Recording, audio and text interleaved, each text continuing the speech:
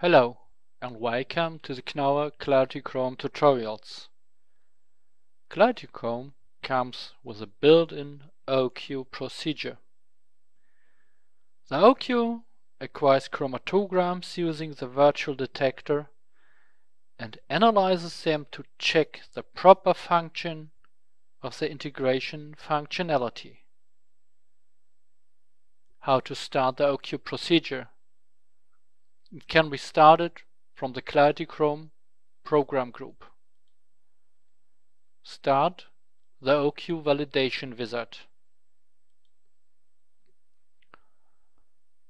For analyzing the final results, the ClarityChrom system suitability extension is necessary.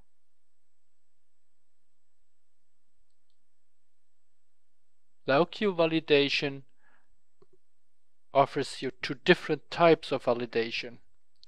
The first requires an AD converter. The second runs with a virtual detector.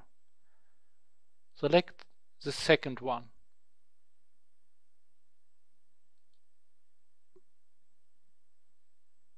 For the files created during the test, an own project must be created. Enter the name of the project and click Next.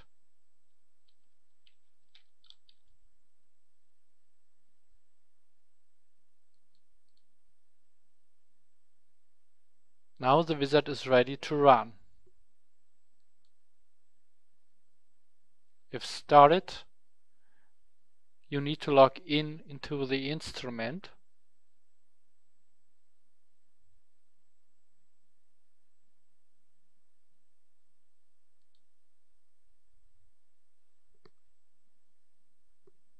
Now the OQ validation is started.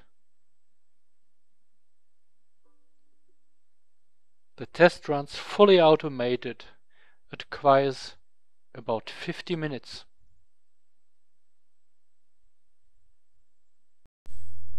If the validation is finished, you can find three PDF reports in the Documents folder which show the result of the test for linearity, internal and external standard calibration can review the reports. Of course, you can print out and sign